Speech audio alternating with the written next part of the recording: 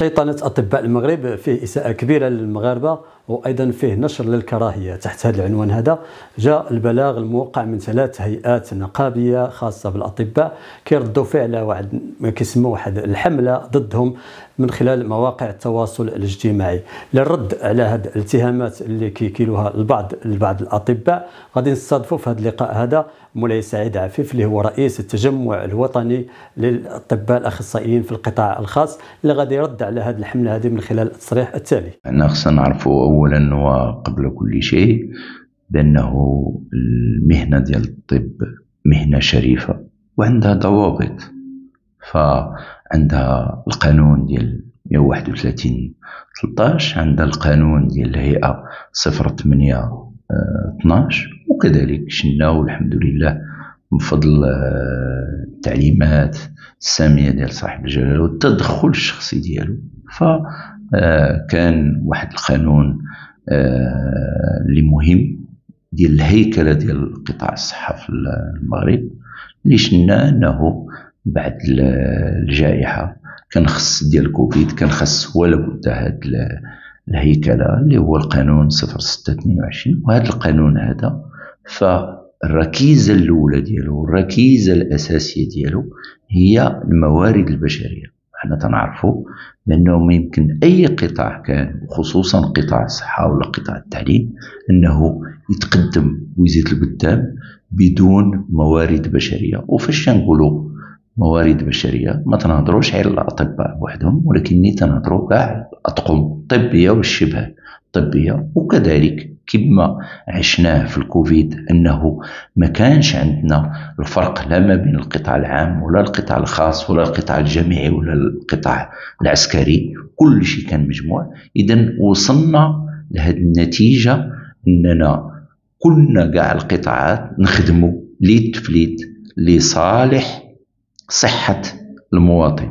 إذا في ديك الوقيتة ديال كوفيد اللي كانوا الناس تيمشيو يخدموا واخا الناس راهم كانوا مخلوعين وخايفين على راسهم والناس تيخدموا وفقدنا آه، آه، تقريبا آه، مئات طبيب وطبيبة منهم أصدقاء اللي قرب لينا بزاف إلا بغينا نعطيو غير سبيل المثال الأستاذ التخيسي والله يرحمهم في هذا النهار ديال الجمعة كلهم وجميع الناس اللي آه، توفوا من جراء الجائحة.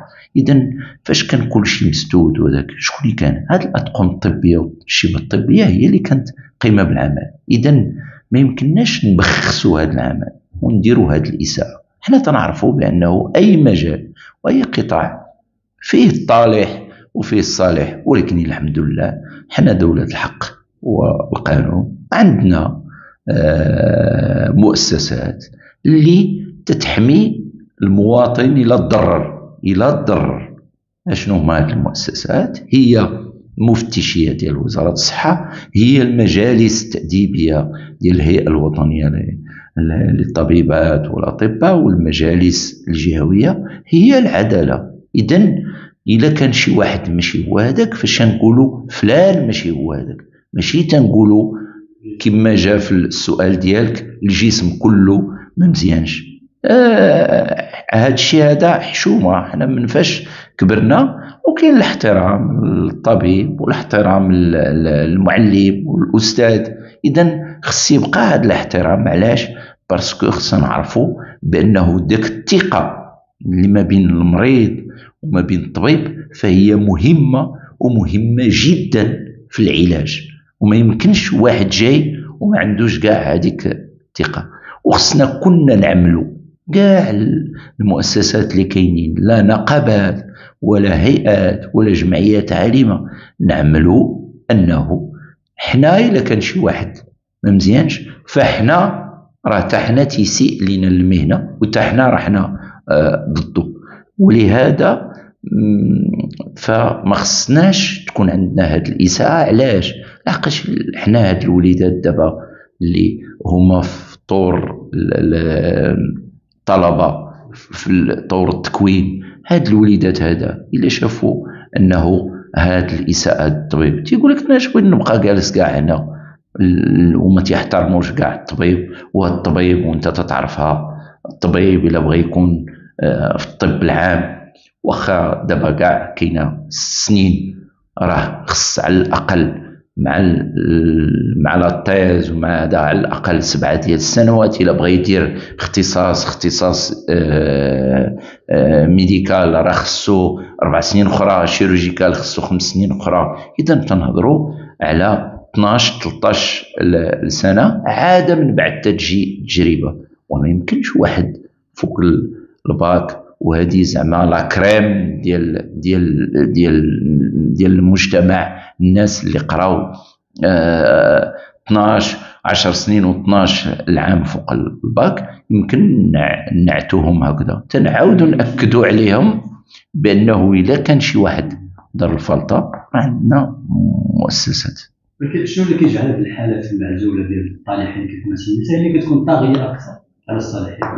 هنا هنا حنا تنتوجهوا المؤسسات وخصوصا الهيئة الوطنية والهيئات الجهوية أنه يكون والمفتشيه أنه فاش يكون ضبط شي حالة فتعطى بها المثال باش ما يكثروش هاد هاد الحالات. هادشي بحال راه بحال فاش آه، كنا في الدار مع والدينا وفي هذا النهار تنترحموا على على الوالد راه هذيك تتسمى التربية. إذا التربيه راه تتبقى غادية معك على طول بحال تتكون في آه، غادي في السيارة ديالك راه خصك توقف في الضوء الأحمر وما تزيد حتى للضوء الخضر إذا واحد اللي دار الفلطة فكاينين كما قلنا هذه المؤسسات ديال الرقابة واللي تيردوه للطريق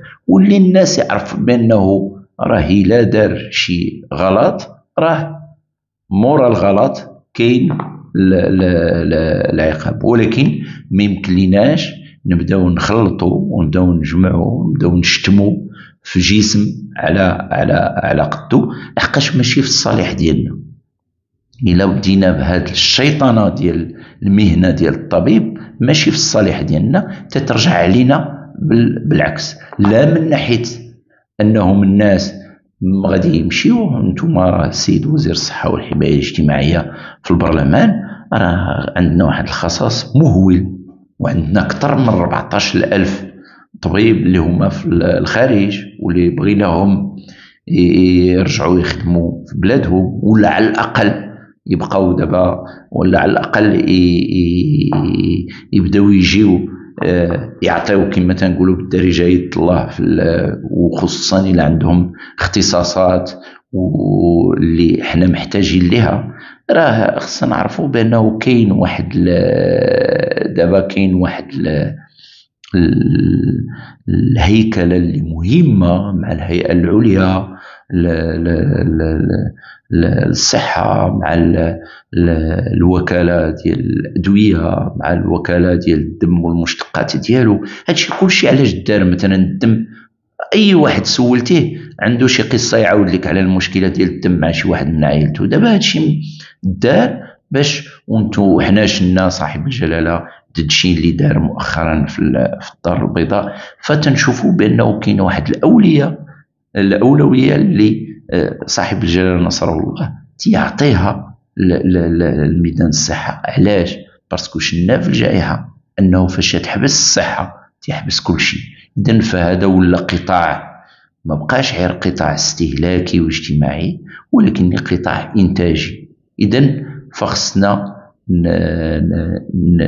نتجنبوا الإساءة لهذا القطاع. كما خصنا نتجنبوا الإساءة لكاع القطاعات الأخرين. كما خصنا مثلا حنا في الصحافة شنا بان الصحافة قامت واحد الدور مهم أثناء الجائحة ديال الكوفيد للتوعية وأنها حاربات الفيك نيوز باش ما وحنا تنشوفوا بأنه الدولة دائما حريصة باش تحارب لي فيك نيوز لحقاش ما خصناش نخلقوا آه، الفتنة عند عند الناس. اذا فلهذا أهمية ديال أننا نكون عندنا آه، نضبطوا الأمور وما نديروش آه، الشعبوية والإساءة المجانية.